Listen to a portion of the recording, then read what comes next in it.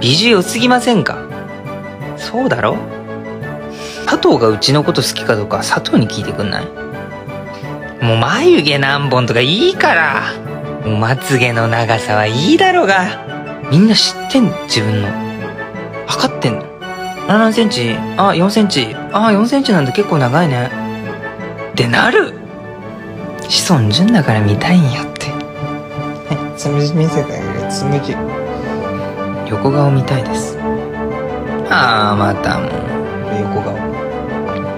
ねえ横顔見せて。っていう人。いるそんなやついねえよな。バイトお疲れ様。集めたら世界になるからね。選択してあげる。好きになっちゃうね。そんなことやると。おやすみ水飲んじゃうぐらい 煽っちゃうんだからもう。深呼吸。